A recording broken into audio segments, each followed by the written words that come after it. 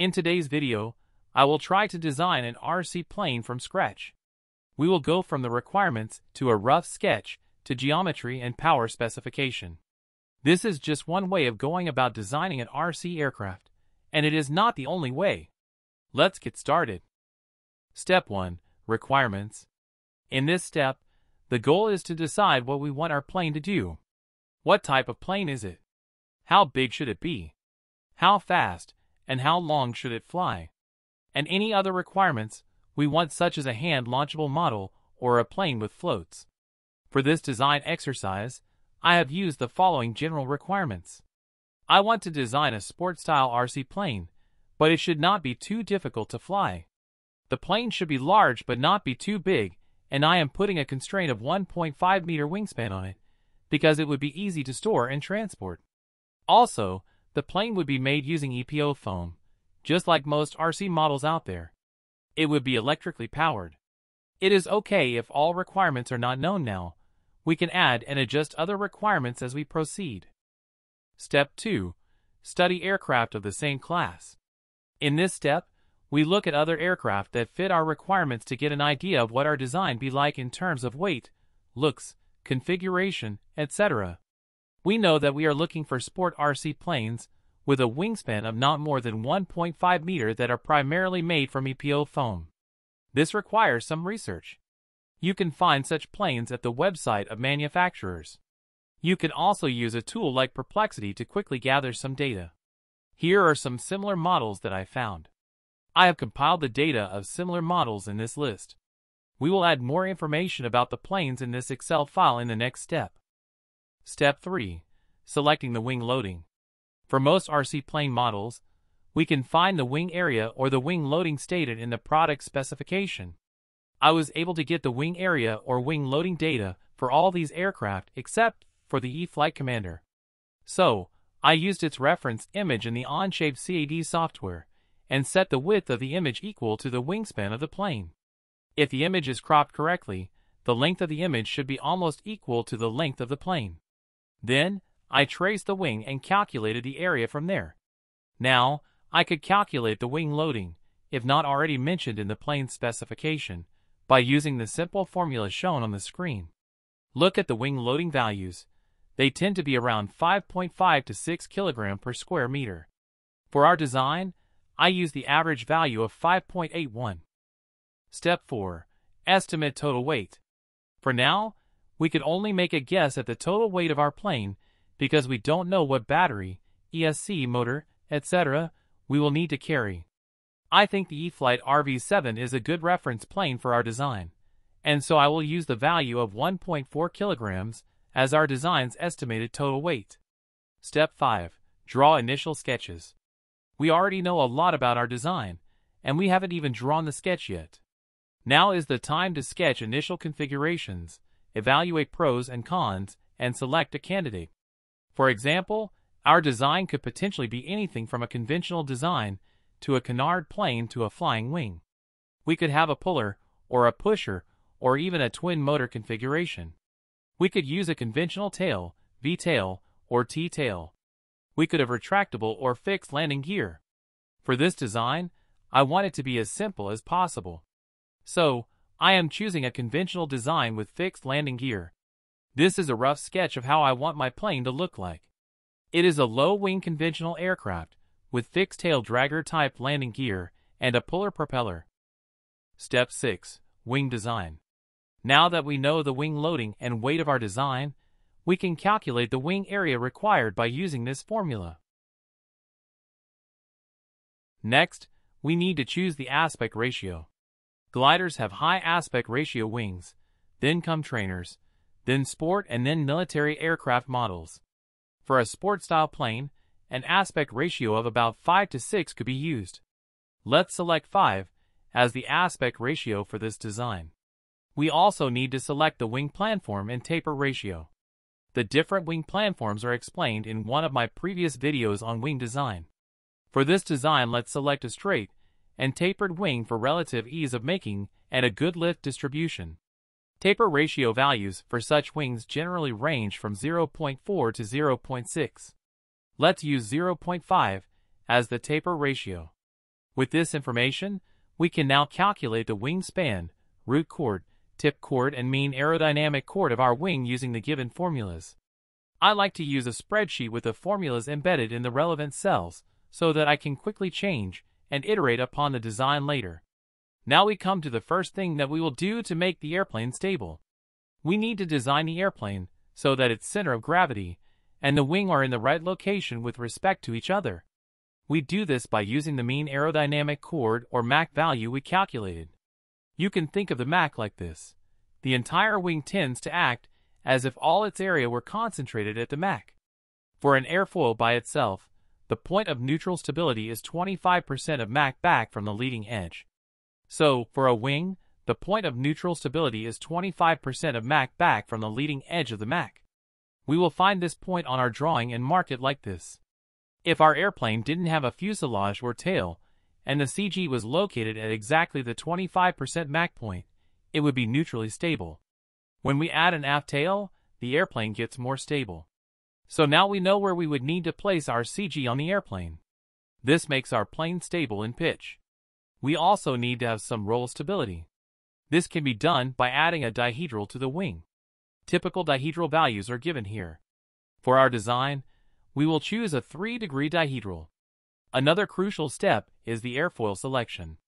I have discussed a few tips in a previous video.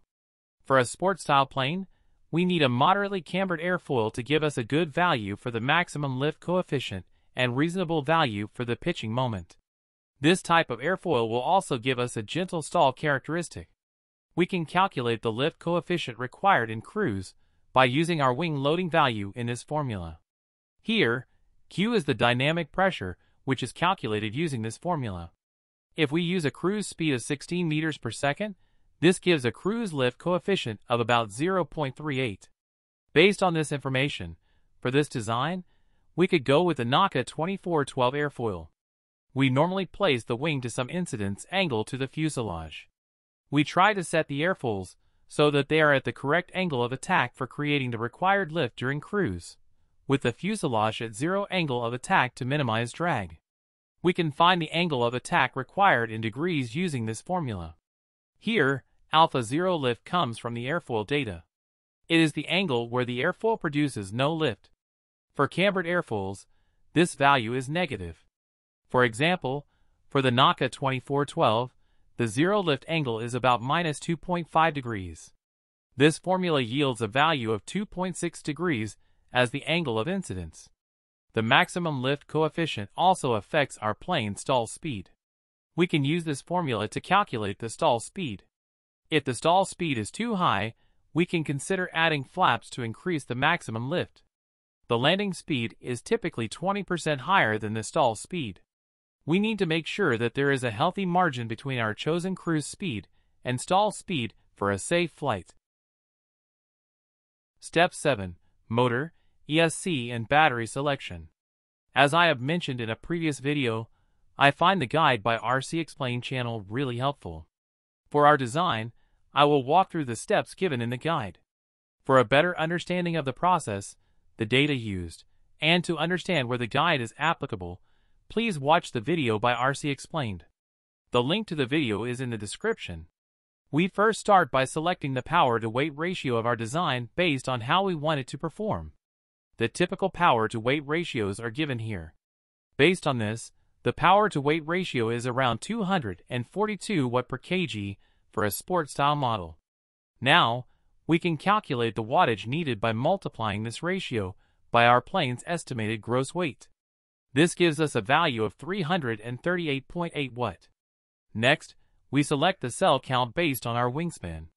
For our wingspan of about 1.1 meter, or about 43 inches, the suggested cell count is 3s. This means we will need a 3S battery pack. Next, we find the nominal voltage. If we use a LiPo battery, the volt per cell value is 3.7. So, the nominal voltage will be 3.7 times our cell count of 3 giving 11.1 volt. We need to select the battery capacity based on the battery weight and the endurance we need. The higher the capacity, the more time we will be able to fly but the battery weight will also be higher.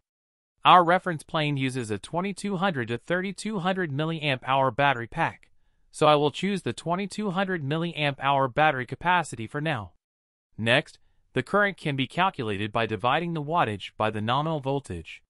We would need an ESC which can handle this current, but we also need a safety margin. Using a factor of safety of 1.2, we get the ESC max current. So now we know that the ESC must be capable of handling a 3S LiPo and a minimum of 37 amps for our plane. The C rating can be calculated using the shown formula. With all this information, we know the minimum specs of the battery and the ESC we will need. Then, we can calculate the recommended RPM using this formula where the wingspan is in inches. This gives us a recommended RPM of around 14,660 RPM. Using the RPM value, we can calculate the motor kV by dividing the RPM by the nominal voltage. This gives us a kV of around 1300 kV. Now we know that we need a motor with the at least the following specs. 340 watt power, 1300 kV and able to handle 31 amps. Of course, the motor does not need to be exactly with these values and could be different based on availability. The propeller diameter and pitch can also be calculated using these formulas. The output values are in inches. The values for the RPM or kV and prop size depend on a trade-off. For example, we could use a lower RPM than the calculated value with a large propeller if we want more thrust. On the other hand, we could use a high RPM with a smaller prop if we want the plane to fly faster. So, this choice depends highly on the designer. In reality, the setup could be very different from the one we calculated now due to a number of causes such as overheating, flight time, etc. But this gives us a starting point to test our design with. If you know based on experience which combination of motor, ESC and battery will be good for your design, go ahead with that setup. Step 8. Tail Design. Now we need to size the vertical and horizontal tail. For initial design, we could do this by using the tail volume coefficient method. What this means is that similar planes have a similar tail volume coefficient, and we use this value to calculate the size of our tail. We can calculate the horizontal and vertical tail areas for our design using these formulas. Typical values for these coefficients are shown here. To proceed further, we would need the tail moment arm values. The tail moment arm is the distance between the quarter chord points of the MACs of the wing and tail. We also need to select the aspect ratios and taper ratios for the horizontal and vertical tail. Again, we can use the typical values shown here. Tails usually have low aspect ratio values, because we do not want the tail to stall at a high angle of attack and lose control of our tail control surfaces. The vertical tail plays a key role in spin recovery, and the placement of the horizontal tail can hurt its effectiveness. In a spin, we need the rudder to stop the rotation, but if the horizontal tail is in the wrong place, it may block the air from getting to the rudder. Due to the extreme angle of attack on the horizontal tail during a spin, the rudder may experience a turbulent wake from the horizontal tail. For initial design, we can follow this process. Draw a line extending upwards from the horizontal tail's leading edge at 60 degrees. Do the same for the trailing edge, but at an angle of 30 degrees. Now shade the region of the rudder that gets covered within these two lines. We should make sure that at least a third of the rudder is not in the shaded region. We can move the horizontal tail front or back, or have a T-tail for better spin recovery. Be careful with the T-tail as the horizontal tail could be in the wake of the wing making the elevator ineffective during high angles of attack. For the control surfaces, we can look at similar planes to see the proportion of the tail occupied by the control surfaces. This gives us a good starting point to size the elevator and rudder. As explained in a previous video about nose-heavy and tail-heavy airplanes, there is a lot to consider depending on your particular design, because the tail should be able to balance the moments created by various components of the aircraft. Step 9. Analysis. We can analyze the aircraft using some formulas, or by using software like MachUp or XFLR5 or Aircraft Intuitive Design MATLAB app. Another way is to build the first version and test it. We can find out the top speed, stall angle, maneuverability, takeoff distance, etc. Step 10. Iterate. Aircraft design is an iterative process. Here is the first iteration summary of the geometry that we calculated today. It is said that we never build the Dash 1. Based on the analysis or test flight, we need to make the plane better in the areas where it lacks. We can try to minimize the drag or improve the stability. In this video, we went from the drawing board to the actual design of our RC aircraft. You can access the Excel file that I used in the video using the link in the description. Did you find this video informative? If you did, consider supporting the channel via a one-time contribution using the PayPal or buy me a coffee link in the description. If you want some more details regarding a particular step in this video, you can check out other videos from the channel. Thank you for watching.